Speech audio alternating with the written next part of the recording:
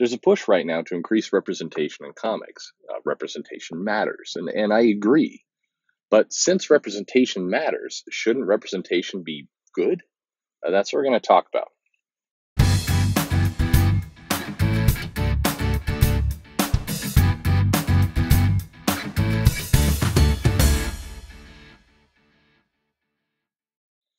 Hey there, this is Perch. Um, you know, it's there's there's been so much back and forth on the topic, and some people just have a knee jerk reaction against this this idea of, of quote unquote representation. And, and brace yourself, we're going to hear a lot of it in the election cycle leading up to 2020.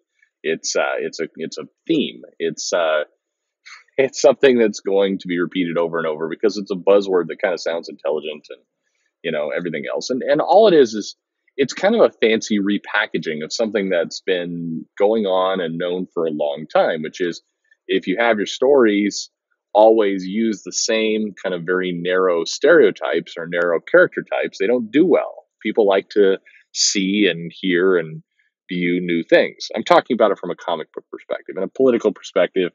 Uh, you know, same thing is true, but with real real people. Um, it's better when we have a lot of different ideas, a lot of different viewpoints, a lot of different experiences. Mostly that last one. Uh, not to go completely down that that side drain, but uh, I'm a I'm a big fan of diversity in the workplace. But when I say diversity, I'm talking about life experiences more than anything, which absolutely does tra- uh, does uh, you know uh, translate back to race and gender and all those things uh, because there are different experiences there. And people with different experiences bring a different way of looking at a problem, and people bring a different way of looking at the problem when joined together with others who are also looking at the problem in their unique ways makes for a better product or a better service or yes even better country. Our country was founded on that. But i again not, not to go too far down that line another time there's a lot of depth there and, and everything else. But because this has gotten to be this kind of knee-jerk comment that gets said there's a knee jerk reaction against it of saying, you know, oh, this is just you trying to push social engineering, political correctness, um, characters nobody wants, you know, on and on and on it goes. It's and then the fight begins, and people kind of lose track of the original comment. And so I'm going to drill all the way back to the original statement of we want to increase diversity, we want to increase representation in comics. Representation matters. I agree. I think it does. But I also think that that puts a, a responsibility, kind of uh, the old Uncle Ben. With great power comes great responsibility. With great representation comes great responsibility. I think you have a responsibility to make that character good and to avoid the traps that that you know brought you to this place in the first place. Uh, you know, stereotypical writing, uh, bad you know overuse of the same tropes. I think all of that stuff is uh, you know it doesn't matter if you want to you can do you know put in all the diverse characters you want but if you use the same one note stereotypes and you know paper thin kind of character writing to do it uh, you haven't accomplished anything. In fact if anything you've just i don't know you, you've sent things backwards. It'd almost be it, it'd be more valuable just to have another generic story of uh, you know superman fighting lex luthor over some kryptonite or something. I just just churn that out. So when you know where this comes to comics and and this is where I, I, you know this is my prediction for 20 years from now.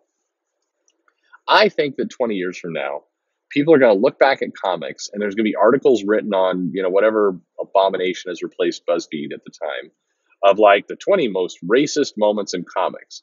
And they are going to pull out things like the initial introduction of Riri Williams or some of the pages from Unstoppable Wasp, and they're going to say, look at these super stereotype uh, African American, gay, uh, lesbian, etc. characters that were in these comics. And the irony there is that those comics being produced today are being kind of pushed as, no, you've got to like them, you should like them. People who criticize them are, you know, racist, homophobes, etc. Except the characters and the way they're written are often written in an extremely two-dimensional a very copycat way. How many young, kind of, you know, teen African American, female, you know, maybe uh, gay or lesbian science nerds do we have in comics when you're introducing a new character? It's like, okay, that's a, there's like this template that is is almost no different than like the Shaft template of the 70s for African American men, kind of street cop, you know, detective types. It's it's the same template, and when it gets just regurgitated over and over and over, it's like, oh, let's have this character, and oh, they're super geeky and knowledgeable about science and math, and they can put people in their place, and they are socially somewhat awkward, and they've got you know this unique quirk. It's the same thing. It's not unique. It's not original. It's not representation. It's just a stereotype. We've just picked a new stereotype. And I think a good way to illustrate this, and uh, this is going to both confuse and anger probably all sides, is take a look at the Riri Williams character as introduced initially in Iron Man. And what you see is, is an extremely kind of by the numbers character. There's there's not a lot of depth. It's you know that various people made fun of that character with you know sociopath kind of stuff. I I counter that by saying if you read the title, what you will find is a a you know a very generic, very stereotype character. Know, shows up, science, really smart, says the kind of same cliche things that are said. You know, you could you could replace that character with a number of other characters, and it's written the exact same way. And um, you know, it, it, like the, the people go into the no flaws. It's not that there's there there's no flaws to the character because they will show flaws from time to time. It's that the the the quality of the character, the story, the depth, the characterization itself is is a stereotype. When people say, "Oh, these characters are written to have no flaws," they're kind of missing it slightly. They're actually written to be stereotypes, and this will become very clear again in 20 years. But you can even illustrate it closer now because for all the hubbub and you know people being irritated about Eve Ewing came coming on to Ironheart and doing Riri Williams, and and to a lesser extent uh, Jim Zub, you you got to give him some credit here too. But if you look at Ewing and how she's written Riri in Ironheart, there's like suddenly this character. It's kind of a jarring thing. So what you do is read the Iron Man series, then read the Iron Ironheart, like right after one right after the other, and it's a kind of a jarring uh, character that you get because Ewing is actually writing a fully formed character. For all the criticism, she's writing a non-stereotype character. Still has to inherit all the same things about kind of this this uh, you know science uh, super genius uh, person, but she's taken some of the you know I think people should give her more credit. She's taken some of the stereotypical bad, shallow writing of the initial run of the character, and she's turned that into you know not not autism, but just kind of a, a more she's she's provided depth to that social awkwardness that actually is is unique. Now, I'm not saying this is an amazing title; you should run out and buy it right now. But I'm saying the character changed significantly between the initial introduction and the solo series and if you want to see an example of a stereotype character become, you know, formed character, that's a, a, pretty quick example of how it how you can do it within the span of like two three years. And like I said, Jim Zub did a lot in this area too, and he deserves a lot of credit for actually turning the character into something, you know, more formed. But it's it's and it's why I say you'll see uh, people bring panels out uh, in these list articles, if they still exist 20 years from now, pointing to some of these books as being massively racist or you know, or, or just just poor writing. And it's it's kind of ironic that those same books today are being you know thrown up as you gotta like this. I mean, leave uh, people like to beat up on America, and that's a whole topic on its own. America the comic, um, and and so leave that aside. I mean, that that comic will be you know massacred for years to come uh, for the way it handled a lot of things. But it, it's it, a lot of these characters that are bit side characters. You you gotta get a new playbook. Like next time you go to a comic retreat, you writers, next time you go to one, sit around and think of another type of good guy, teen, person of color, again maybe gay or lesbian character that is not into science and socially awkward and geeky, and their moments only come from kind of being able to spout off some mathematical thing or science thing, add someone to put them in their place. You know, uh, you got to like think of the look around you in the world. Like, you know, this is the writer, know thy world. Go go to a coffee shop. Read Harry Potter. I mean, as sad as it sounds, look Harry Potter had different characters in it. Like they were not all Hermione. They, there was there was the smart one, there was the brave one, there was the dumb one, there was the one who believed in conspiracy theories, there was the one who was into sports, there was the one who was into jokes. Like you, you got to come up with another character besides just teen science nerd. You, there's more. There's more to life. And no, this is not me pitching that.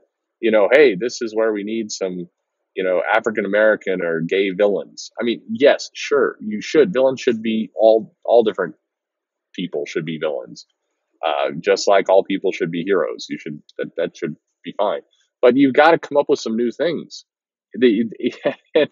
like it, you can't go from you know Riri to uh, Moon Girl's a little different. They did some things, but still, I, unfortunately, as that character is being used in other titles, it's falling more and more into a stereotype trap.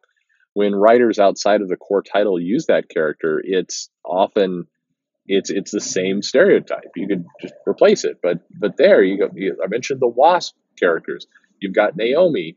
You've got a lot of these books that just come out. You have the Flash announcing that you know, we're looking for a uh, African American science nerd, socially awkward geek. Good lord, another something else. You need something else. Just come up with, a, a, you know, an English lit major, an archaeologist, a historian, uh, you know, somebody who is uh, maybe not that smart but has great heart. I, I, who knows? I mean, that that's so when I say representation matters it does. It absolutely does. And what is often being portrayed in comics is not representation. It's stereotypical writing that's going to be panned badly in the in the future. And it's it's going to be panned badly in the future by the same people who are writing it today, which is a you know nice ironic loop uh, there for you. But I you know you look back just to kind of conclude this um, somehow, some way, you know, Chris Claremont was able to pull it off with Storm, with Forge. Uh, there, you know, you had uh, keep forgetting it's not Bobby, the Sunspot. That was Bobby. What am I thinking? Eh, it's been too long since I've read the New Mutants. I need, I should go back and do that. Anyway, you, you have uh, historically lots of different types of characters. Yes, he did not do Claremont did not do much with the LGBTQ uh, side of the world, but he did plenty with people of color. And you'll notice Storm was not an awkward science nerd geek. You, you go figure. She had a different backstory. And Forge was an inventor, but had other aspects to his personality. Had a bet, had uh, some magic aspect to. I mean, there were lots of different things that went into all these these characters, and and so you know it's possible. It was possible in the 70s. We can't go from the 70s to the 2000 teens and have kind of worse stereotype writing in comics. And again, I know this this topic has been kind of raked over to death, but but from a slight, I hope you realize there's a difference. There's a slightly different angle to what I'm saying here. I'm I'm saying we, you know, do you've got to do better and, to use a, an internet uh, line, you've got to do better. Representation is is important. It is it is important to growing an audience. It's important to bringing in new markets. It is important to showing, look, that there's there's something for everyone. I actually, because I've seen it, I agree. The people have said uh, that you know you know uh, you know their young kind of African American child goes into the comic store and and wants to see a comic for them. Well, I mean, mostly they just want to see a good comic. I mean, that's that's first and foremost. But yeah, it's cool when they can see a, a good comic. So don't make them all science nerd geeks that are awkward. Don't don't make them all that. That's I know STEM is cool. You read about an article on Wired, and STEM is in, and people are learning how to code, and so we're gonna kind of push that narrative. But you can do you can do more than that. There's there's other tools in the toolbox. Use them, and if you don't know how to use them, go out into the world. Go to a grocery store. Go to you know go go, to google and look at a ted talk. Look there's all kinds of different experts there. Pick one and write about it. I mean, I, I just, I, it frustrates me because I, I think there's this, there's, it, it frustrates me from all sides because what you're doing is you're pumping out these kind of nonsense characters. They don't stick. They're all the same. Fans don't attach to them. Sales don't happen. You're angry because your you know garbage stereotype character isn't catching on. You are blaming kind of racists and other people for making fun of it. The people making fun of it are you know just gotten to the point where they're starting to make fun of everything. None of this leads to sales. None of this leads to comics people want to buy and and helps anything.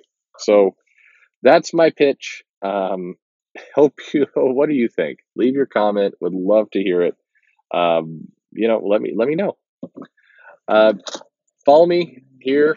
Subscribe, like, tell a friend. Uh, all of those amazing things. Uh, follow me on Twitter at Comic Perch, and uh, most importantly of all, thank you for.